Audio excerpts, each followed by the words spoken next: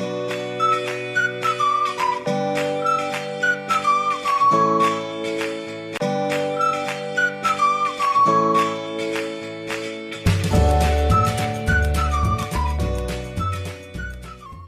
Hi dear friends രാവിലെ തന്നെ dress ചെയ്ത് ഞാൻ പുറത്തേക്ക് ഇറങ്ങുകയാണ്. ഒരു ഫംഗ്ഷൻ അറ്റൻഡ് ചെയ്യാനായിട്ട് പോവുകയാണ്. രാവിലത്തെ ബ്രേക്ക്ഫാസ്റ്റ് ഒക്കെ കഴിഞ്ഞിട്ടുണ്ട്. നമ്മുടെ രാവിലത്തെ പ്രാതൽ എന്ന് പറയും. അല്ലെങ്കിൽ ബ്രേക്ക്ഫാസ്റ്റ് അത് കഴിഞ്ഞിട്ട് ഇനിയിപ്പോൾ ലഞ്ച് ഉണ്ടാക്കുന്നതിന് തിരിച്ച് വന്നിട്ടേ ഉള്ളൂ. അതിന് മുന്നെയാണ് ഈ പ്രോഗ്രാമിന് പോകേണ്ടത്. ഇപ്പോൾ സമയം രാവിലെ ഒമ്പതര മണി. അപ്പോൾ അധികം ദൂരമൊന്നുമില്ല. വീട്ടിൽ നിന്നും കുറച്ച് പോയാൽ മതി. ജഗതി സൈഡിലേക്കാണ് നമുക്ക് പോകേണ്ടത്.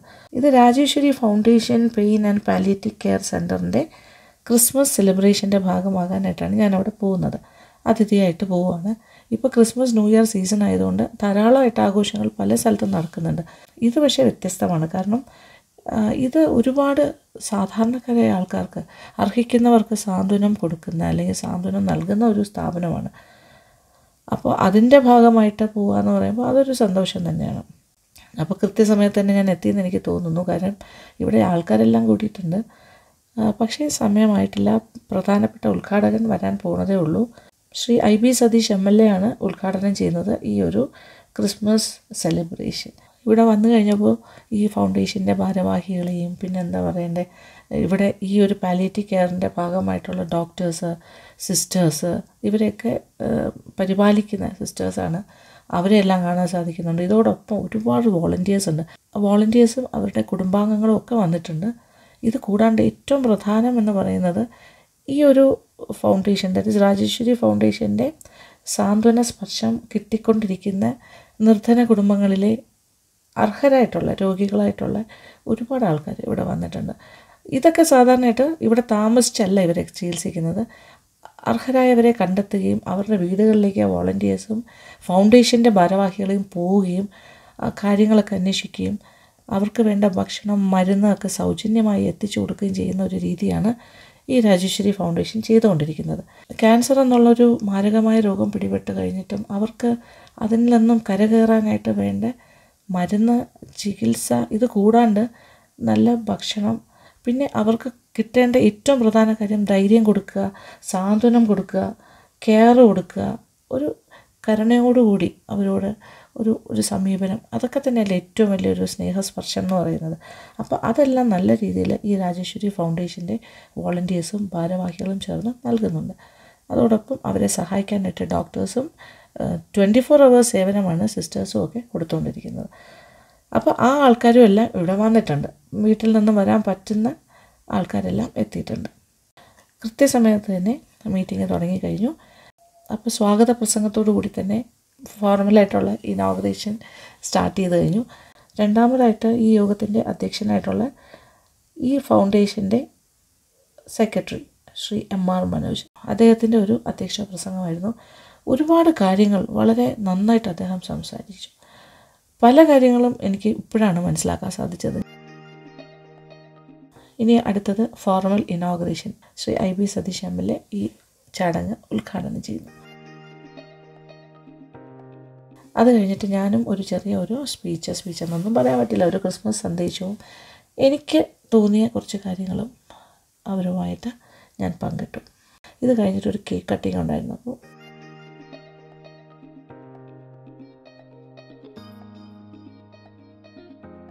കേക്ക് കട്ട് ചെയ്തിട്ട് അവിടുത്തെ ഒരു രണ്ട് അമ്മമാർക്ക് തന്നെ ആദ്യം വായിൽ വെച്ച് കൊടുക്കാനും ഒക്കെ സാധിച്ചു. ബാക്കി എല്ലാവർക്കും ചെറിയ പീസസ് ആയിട്ട് കട്ട് ചെയ്ത് കട്ട് ചെയ്ത് അവിടെ വോളണ്ടിയേഴ്സ് കൊടുക്കുന്നുണ്ടായിരുന്നു. ഇത് കഴിഞ്ഞിട്ട് കേക്ക് കട്ടിങ് എല്ലാം കഴിഞ്ഞിട്ട് പിന്നെ കുറച്ച് സൗജന്യമായിട്ട് കിറ്റ് വിതരണം ചെയ്യായിരുന്നു. കിറ്റ് എന്ന് പറയുമ്പോൾ അവർക്ക് ഒരു മാസത്തേക്കുള്ള പലവ്യഞ്ജനം അങ്ങനത്തെ കാര്യങ്ങളെല്ലാം ഉള്ള ഒരു ബാഗാണ് അത് എല്ലാവർക്കും കൊടുക്കുന്നുണ്ടായിരുന്നു. പിന്നെ കുറച്ച് കലാപരിപാടികളൊക്കെ ഇത് കഴിഞ്ഞിട്ടുണ്ടായിരുന്നു. അതായത് അവിടുത്തെ സിസ്റ്റേഴ്സും പിന്നെന്താ പറയുക ഇവിടുത്തെ വോളണ്ടിയേഴ്സും ഇതിന്റെ ഭാഗമായിട്ടുള്ളവരും എല്ലാം ചേർന്നിട്ടുള്ള പാട്ട് നൃത്തം അങ്ങനത്തെ കാര്യങ്ങളൊക്കെ. ഒരു മ്യൂസിക് ബാൻഡിന്റെ ഒരു മ്യൂസിക് പ്രോഗ്രാമും അക്കൂട്ടത്തിലുണ്ടായിരുന്നു ഇത് കഴിഞ്ഞിട്ടാണ് ഈ ചടങ്ങെല്ലാം കഴിഞ്ഞിട്ടാണ് അത് പ്ലാൻ ചെയ്തിരുന്നത്. എനിക്ക് പക്ഷേ അതിലൊന്നും പങ്കെടുക്കാൻ സാധിച്ചില്ല. എനിക്ക് കേൾക്കണം എന്ന് ആഗ്രഹം ഉണ്ടായിരുന്നു. അതൊന്നും പറ്റിയില്ല. അങ്ങനെ ഈ ക്രിസ്മസ് സെലിബ്രേഷൻ വളരെ ഗംഭീരമായിട്ട് നടക്കുമായിരുന്നു അതിന്റെ കൂട്ടത്തിൽ തന്നെ രണ്ട് കാര്യങ്ങളും കൂടി അവിടെ നടന്നു. അതായത് ഈ വോളണ്ടിയേഴ്സ് ആയിട്ടുള്ള ആൾക്കാരുടെ രണ്ട് അമ്മമാരുടെ മക്കളുടെ അവരെ കൺഗ്രാജുലേറ്റ് ചെയ്യുന്ന ഒരു ചടങ്ങ് കൂടി ഇതിനകത്തുണ്ടായിരുന്നു അവർക്ക് ഓരോ അവാർഡ് കൊടുക്കുന്നുണ്ടായിരുന്നു സമ്മാനം പൊതിയെല്ലാം.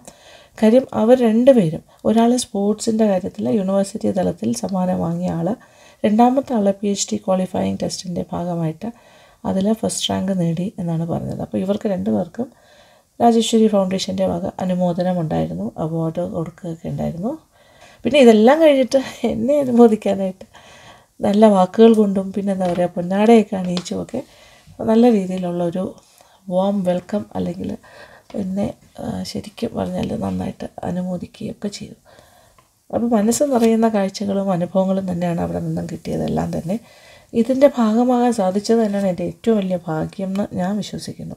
ഇവിടെ വന്ന പേഷ്യൻസ് എല്ലാം തന്നെ ആഴ്ചയിൽ ഒരു ദിവസം അവർക്ക് ഒ പി ഡേ ഉണ്ട്. ആ സമയത്ത് അവർ വരാറുണ്ട്. പിന്നെ വരാൻ പറ്റാത്തവർക്കെല്ലാം വീട്ടിൽ ചെന്ന് മരുന്ന് കൊടുക്കുന്ന രീതിയുണ്ട്. അങ്ങനെ എല്ലാ രീതിയിലും അവർ നല്ല സാന്ത്വനമാണ് കേട്ടോ കൊടുത്തുകൊണ്ടിരിക്കുന്നത്. സുഖമില്ലാത്ത ഈ ആരോഗ്യമില്ലാത്ത അല്ലെങ്കിൽ സാമ്പത്തികമായി പിന്നോക്കം നിൽക്കുന്ന ആൾക്കാരെ തിരഞ്ഞു പിടിച്ചിട്ട് അർഹരാണ് എന്ന് തന്നെ ബോധ്യപ്പെട്ടിട്ടാണ് ഇതൊക്കെ ചെയ്യുന്നത്. പിന്നെ ഒരു രണ്ട് മൂന്ന് ബിൽഡിംഗ് അവർ വാടകയ്ക്ക് എടുത്തിട്ടാണ് ഇതെല്ലാം ചെയ്തുകൊണ്ടിരിക്കുന്നത്. അപ്പോൾ നമ്മളിപ്പോൾ ഇരിക്കുന്ന ഈ ബിൽഡിങ്ങിന്റെ സൈഡിലാണ് അപ്പോൾ ഇതിനകത്ത് ഇൻപേഷ്യൻസ് ആയിട്ട് ആൾക്കാരുണ്ട്. അപ്പോൾ ഇൻപേഷ്യൻസ് എന്ന് പറയുമ്പോൾ അവിടെ താമസിച്ച് ചികിത്സിക്കുന്നവരാണ്. അതിന് പേയ്മെന്റ് ഉണ്ട്. അത് സൗജന്യമല്ല. പക്ഷേ കുറച്ച് സംവരണം പോലെയുണ്ട്. അതായത് തീരെ പാവങ്ങളാണെങ്കിൽ സൗജന്യമായിട്ടും കിടത്തി ചികിത്സ കൊടുക്കുന്നുണ്ട്. എന്തായാലും ചടങ്ങെല്ലാം വളരെ ഗംഭീരമായി നടന്നു. എല്ലാവർക്കും വളരെ സന്തോഷം. അപ്പോൾ ഇതിന് ശേഷം ഞാൻ പറഞ്ഞല്ലോ കലാപരിപാടി അരങ്ങേറാൻ പോകുന്നതേ ഉള്ളൂ. അപ്പോൾ എന്തായാലും ഞാൻ പോകുന്നതിന് മുമ്പ് അകത്ത് കയറി ഇൻപേഷ്യൻസിനെ എല്ലാം കണ്ടു. ഡോക്ടേഴ്സുമായിട്ട് സംസാരിച്ചു സിസ്റ്റേഴ്സുമായിട്ട് സംസാരിച്ചു. അവിടെ കൂടിയിരുന്ന എല്ലാവരോടും സൗഹൃദ സംഭാഷണമൊക്കെ നടത്തി. കുറേ പേരോടൊപ്പം സെൽഫിയൊക്കെ എടുത്ത് ഫോട്ടോസൊക്കെ എടുത്ത് അങ്ങനെ വളരെ ഹാപ്പിയായിട്ട് എല്ലാവരോടും യാത്ര പറഞ്ഞ് ഞാൻ തിരിച്ച് വീട്ടിലേക്ക്. ഇത്തരം പരിപാടികളിൽ പങ്കെടുക്കുമ്പോൾ കിട്ടുന്ന ഒരു മനസ്സുഖം അല്ലെങ്കിൽ മനസ്സിന്റെ സന്തോഷം. ഒരു പക്ഷേ കുറച്ചുകൂടി വലിയ ഗ്രാൻഡായിട്ട് അല്ലെങ്കിൽ വലിയ എന്താ പറയുക ആഡംബരത്തോടു കൂടി നടത്തുന്ന പരിപാടികൾക്ക് കിട്ടാറില്ല എന്നുള്ളതാണ് സത്യം. അസുഖവും സാമ്പത്തിക ബുദ്ധിമുട്ടും ഒക്കെ കൊണ്ട് വലയുന്ന അത്തരക്കാരെ തിരഞ്ഞുപിടിച്ച് അവർക്ക് സാന്ത്വനം നൽകുകയും ഇതോടൊപ്പം തന്നെ ഇതുപോലുള്ള ആഘോഷ ദിവസങ്ങൾ അവർക്കായിട്ട് മാറ്റി വയ്ക്കാൻ എടുക്കുന്ന ആ ഒരു സന്മനസ് ഈ ഫൗണ്ടേഷന്റെ രാജേശ്വരി ഫൗണ്ടേഷന്റെ ഭാരവാഹികൾ കാണിക്കുമ്പോൾ അത് എത്ര പ്രശംസിച്ചാലും മതിയാവില്ല. അതൊരു നല്ല കാര്യമാണ്. സത്യം പറഞ്ഞാൽ അവരുടെയൊക്കെ മനസ്സിന്റെ നന്മയാണ് ഇതിൽ നിന്നും നമുക്ക് മനസ്സിലാക്കാൻ സാധിക്കുന്നത്. അപ്പോൾ എന്തായാലും നന്മയുള്ള കുറച്ച് ആൾക്കാരെ കണ്ട് മനസ്സ് നിറഞ്ഞ സന്തോഷത്തിൽ അതിന്റെ ഭാഗമാകാൻ സാധിച്ചു എന്നുള്ളൊരു ചാരിതാർത്ഥ്യത്തോടു കൂടി തന്നെയാണ് ഞാൻ തിരിച്ചു പോകുന്നത്. അപ്പോൾ പ്രോഗ്രാം എല്ലാം കഴിഞ്ഞ് തിരിച്ചെത്തിയപ്പോൾ ഇപ്പോൾ ഇതേ സമയം പന്ത്രണ്ട് മണി കഴിഞ്ഞു. ഇനി അധിക സമയമില്ല. ഉച്ചയ്ക്കുള്ള ഊണ് കാലമാക്കണം.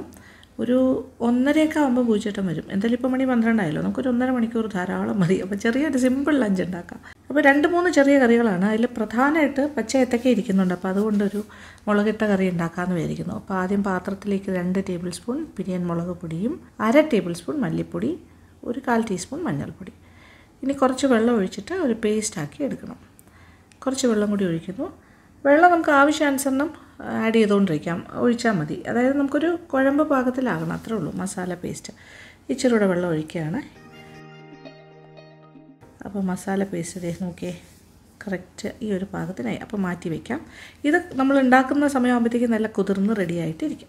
അപ്പോൾ ചട്ടിയിലേക്ക് ഒന്നര ടേബിൾ സ്പൂൺ വെളിച്ചെണ്ണ. ചൂടായി തുടങ്ങി ഒരു ടീസ്പൂൺ കടുക്. കാൽ ടീസ്പൂൺ ഉലുവ കൂടി ചേർക്കാം. ഇത് രണ്ടും കൂടി കിടന്നൊന്ന് പൊട്ടട്ടെ.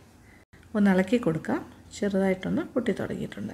ഒരു ടേബിൾ സ്പൂൺ വെളുത്തുള്ളി നീളത്തിലരിഞ്ഞത് ചേർക്കുന്നു. അതുപോലെ തന്നെ ഇഞ്ചി നീളത്തിലരിഞ്ഞത് ഒരു ടേബിൾ സ്പൂൺ. ഒരു പച്ചമുളക് നീളത്തിൽ മുറിച്ചതിടാം. കുറച്ച് കറിവേപ്പില നന്നായിട്ടൊന്ന് വഴറ്റി കൊടുക്കാം. രണ്ട് വറ്റൽമുളക് മുറിച്ചതും കൂടി ചേർക്കാം. നന്നായിട്ട് വഴറ്റി മൂപ്പിച്ചെടുക്കാം. ഇഞ്ചി വെളുത്തുള്ളിയുടെയൊക്കെ നിറം മാറാൻ തുടങ്ങിയിട്ടുണ്ട്. ഇനി നേരത്തെ ഞാൻ കലക്കി വെച്ചില്ലേ? പേസ്റ്റ് രൂപത്തിൽ മുളക് പൊടിയുടെയൊക്കെ ഒരു പേസ്റ്റ്. ആ മസാല പേസ്റ്റും കൂടി ചേർത്ത് കൊടുക്കാം. നന്നായിട്ട് വഴറ്റി പച്ചച്ചുവയൊക്കെ മാറ്റി മൂപ്പിച്ചെടുക്കാം. അപ്പോൾ പച്ചച്ചുവയെല്ലാം മാറി എണ്ണ തെളിയണം. അപ്പോൾ ഇച്ചിരി ഉപ്പും കൂടി ചേർക്കട്ടെ. നന്നായിട്ട് വഴറ്റി കൊടുക്കാം. ഇത് നോക്കിയേ പാകത്തിന് മസാല എല്ലാം വഴണ്ടൂന്ന് തന്നെ മനസ്സിലാക്കുന്ന എങ്ങനെ അറിയോ? എണ്ണ തെളിഞ്ഞ് വരുന്നു. പാകത്തിന് മൂത്തിട്ടുണ്ട് ഓയിൽ ഫ്ലോട്ടിങ് ഇനി രണ്ട് കുടംപുളി രണ്ട് കഷ്ണം കുടംപുളി ഒരു കാൽ കപ്പ് വെള്ളത്തിൽ കുതിരാൻ വെച്ചിരുന്നു. അതും കൂടി ചേർക്കുന്നു. ആ വെള്ളത്തോടു കൂടി തന്നെ ചേർക്കുകയാണ്. അപ്പോൾ കുടംപുളി കഴുകിയിട്ടാണ് വെള്ളത്തിലിട്ട് വയ്ക്കേണ്ടത് ഇനി നന്നായിട്ടൊന്ന് ഇളക്കി യോജിപ്പിക്കും. ഒരു കപ്പ് വെള്ളം കൂടി ചേർത്ത് കൊടുക്കാം. ഇനി ഇളക്കി കൊടുക്കാം. നന്നായിട്ടൊന്ന് തിളയ്ക്കട്ടെ തിള വന്നു തുടങ്ങി. നന്നായിട്ട് തിളയ്ക്കുന്നു. ഇനി പച്ച ഏത്തക്കയാണ് ഞാൻ ചേർക്കുന്നത്. രണ്ട് പച്ച ഏത്തക്ക നീളത്തിലുള്ള കഷ്ണമായിട്ട് അല്പം ഖനത്തിൽ തന്നെയാണ് അരിഞ്ഞിരിക്കുന്നത്. ഞാൻ കഞ്ഞിവെള്ളത്തിൽ മിക്സ് ചെയ്തിട്ടിരിക്കുമായിരുന്നു അതിന്റെ കറയെല്ലാം പോകാനായിട്ട്.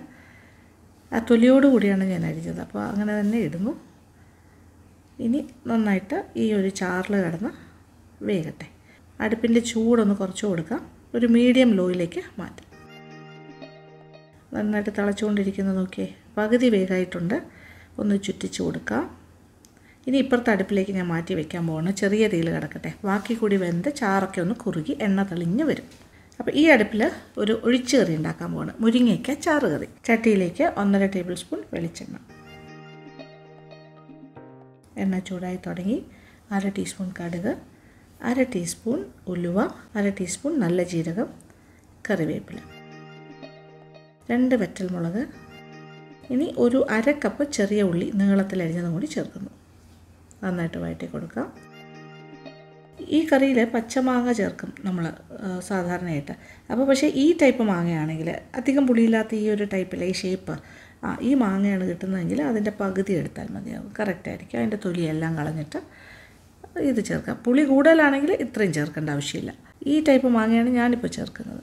ഉള്ളി വാടി തുടങ്ങി. ഇനി ഒരു മൂന്ന് ഇടത്തരം സൈസിലെ മുരിങ്ങയ്ക്ക അല്പം നീളത്തിൽ നമ്മൾ മുറിക്കില്ലേ അതേപോലെ മുറിച്ച കഷ്ണങ്ങളാണ്. അതും കൂടി ചേർക്കുന്നു. ഇനി അഞ്ച് മിനിറ്റ് മുരിങ്ങയ്ക്കയും കൂടി ഇതിന്റെ കൂടെ ഇട്ട് വഴറ്റുന്നു. പൊടികൾ ചേർക്കാൻ പോവാണ്. അര ടീസ്പൂൺ മഞ്ഞൾപ്പൊടി ഒരു ടേബിൾ സ്പൂൺ മല്ലിപ്പൊടി. മല്ലിപ്പൊടി കൂടുതലായിട്ട് ചേർക്കണം. ഒന്നര ടീസ്പൂൺ പിരിയൻ മുളകിന്റെ പൊടി. ഒരു ടീസ്പൂണും അര ടീസ്പൂണും ചേർക്കുന്നു. ഇനി ഒരു മിനിറ്റ് വഴറ്റാം. പെട്ടെന്ന് തന്നെ മുക്കും.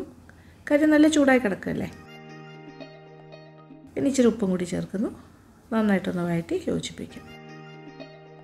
ഇനി കുറച്ച് തേങ്ങാപ്പാൽ ഒഴിച്ചു കൊടുക്കുക. ഇത് ഒരു രണ്ടാം പാലിന്റെ അയവിലെടുത്തിരിക്കുന്ന തേങ്ങാപ്പാലാണ്. ഏകദേശം ഒരു രണ്ട് കപ്പ് തേങ്ങാപ്പാലും കൂടി ചേർത്ത് നന്നായിട്ടൊന്ന് ഇളക്കി കൊടുക്കുക. ഉപ്പ് നോക്കട്ടെ. ഇനി പച്ചമാങ്ങയുടെ കഷ്ണങ്ങൾ ചേർക്കാം. തൊലി കളഞ്ഞിട്ടുള്ള ചതുര കഷ്ണങ്ങളാണ് പുളി കൂടി പോകരുത് ഈ കറിക്ക്. മാങ്ങയുടെ പുളി അനുസരിച്ചിട്ട് അളവ് നിങ്ങൾക്ക് തീരുമാനിക്കാം. അപ്പോൾ ഞാനിപ്പോൾ ആ ടൈപ്പ് മാങ്ങ ഉപയോഗിക്കുന്നുണ്ട്. ഒരു മാങ്ങയുടെ പകുതി എടുത്തു. അപ്പോൾ നന്നായിട്ട് ഇളക്കി യോജിപ്പിക്കാം. ഇനി നന്നായിട്ടൊന്ന് തിളയ്ക്കട്ടെ എല്ലാം കൂടി കിടന്നിട്ട്.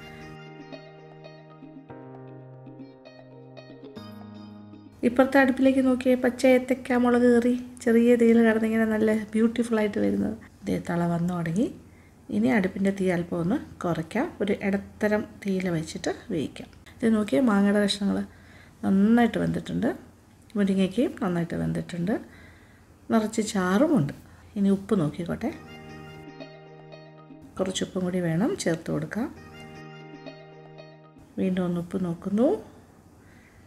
കറക്റ്റ്. ഇപ്പോൾ എല്ലാം ഓക്കെയാണ്. എല്ലാം പാകത്തിനാണ്. ചാറ് കറി റെഡി. ഏത്തക്ക മുളകിട്ടതും റെഡി ആയിട്ടുണ്ട്.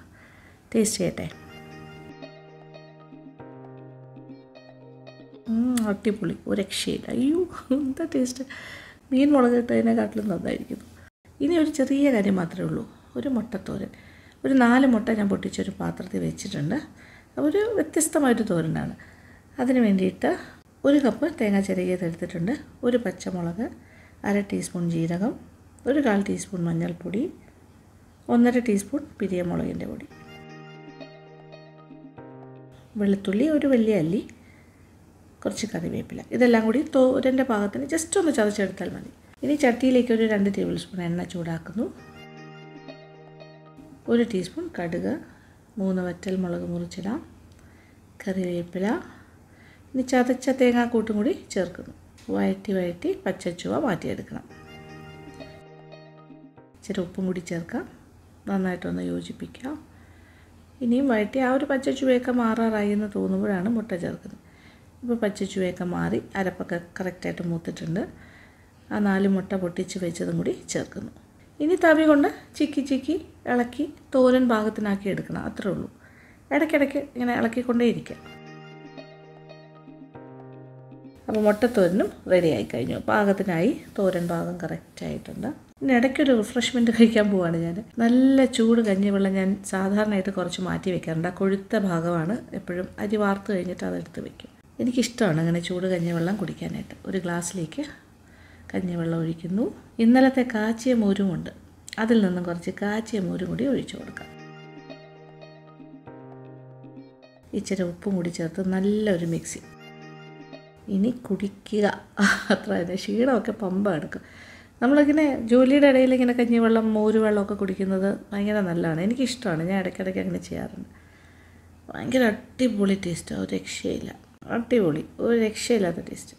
എനിക്കിങ്ങനെ ചെയ്യുന്നത് ഭയങ്കര ഇഷ്ടമാണ് കേട്ടോ. ഇങ്ങനെ ഈ രീതിയിൽ ഉണ്ടാക്കി കുടിക്കുന്നത്.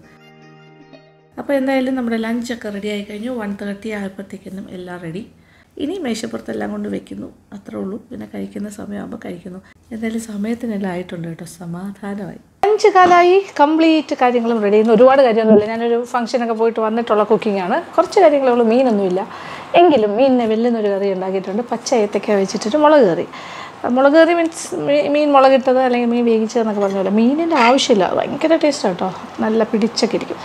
പിന്നെ നമ്മുടെ മുരിങ്ങയ്ക്ക ഒഴിച്ച് കറി. അതിനകത്ത് ഇച്ചിരി മാങ്ങയും കൂടി ഇട്ടിട്ടുണ്ട് പുളിയുടെ ഫാക്ടർ കാര്യം നമ്മളതിൽ തൈരൊന്നും ചേർക്കുന്നില്ലല്ലോ. തോരൻ മുട്ടത്തോരൻ. അത് കുറച്ച് കാര്യമായിട്ട് ഒരു ഡിഫറെന്റ് സ്റ്റൈലാണ് ചെയ്തിരിക്കുന്നത്. തേങ്ങയൊക്കെ അത് ചേർത്തിട്ട് തോരൻ പോലെ. വെള്ളം പെട്ടെ നിങ്ങൾക്ക് കാണാനും കൂടി. ഞാൻ ഇത്രയൊന്നും സാധാരണ കഴിക്കാറില്ല. പക്ഷേ ഇടുമ്പോൾ ആ ഒരു ക്വാണ്ടിറ്റി ഇട്ടാൽ നമുക്ക് ഫോട്ടോ എടുക്കാനും കാണാനും ഒക്കെ ഒരു ലുക്ക് ഉണ്ടാവും. അതുകൊണ്ടാണ് അങ്ങനെ ചെയ്തത്. ഞാൻ വിളമ്പുന്ന പാത്രം തന്നെയാണ് സാധാരണ ഫോട്ടോസിലെടുക്കുന്നത്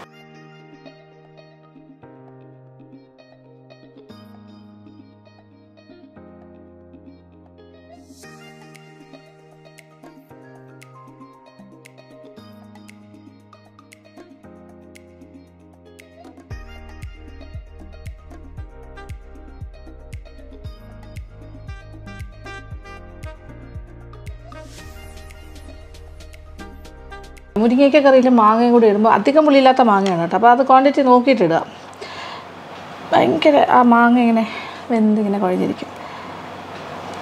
തുടങ്ങാം. ഇതിനകത്ത് പിന്നെ ചെറിയ ഉള്ളിയും കൂടി നമ്മൾ ചേർത്തിട്ടുണ്ട്. അതൊരു സ്പെഷ്യൽ ടേസ്റ്റ് തരും.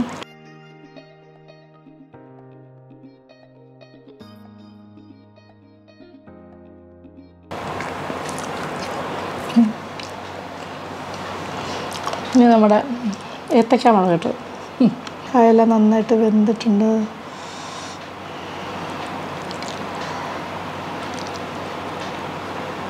ചുമന്ന കറി. ആഹാ. നല്ല കുടംപുളിയൊക്കെ പിടിച്ച് മീൻ കഴിക്കുന്നവരുണ്ടാവും വെജിറ്റേറിയൻസിന് നല്ലൊരു സബ്സ്റ്റിറ്റ്യൂട്ടാണ് മീൻ മീൻ മുളകിട്ടതിന് പകരം. നോമ്പ് സമയത്തൊക്കെ പ്യുവർ വെജ് ആയിരിക്കുന്ന സമയത്ത് കഴിക്കാൻ പറ്റിയൊരു ഐറ്റമാണ് അങ്ങനെ പല ആൾക്കാരും മീൻ പോലെ ഉണ്ടാക്കാറുണ്ടല്ലോ. ഇത് അത്തരം ഒരു കറിയാണ്. മീനൊന്നും ഇല്ലെങ്കിൽ എക്സാക്ട്ലി പറ്റിയ സംഭവമാണ്. ഇനി മുട്ടത്തോരൻ. ക്യാബേജ് തോരൻ പോലെ ഉണ്ട്.